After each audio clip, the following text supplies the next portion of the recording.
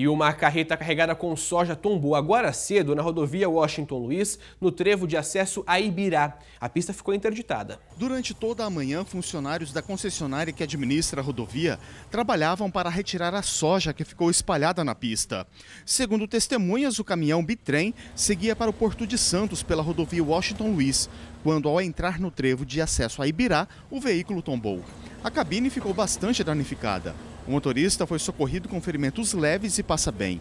O trânsito no local chegou a ficar interditado até a conclusão da limpeza da pista. As causas do acidente vão ser investigadas.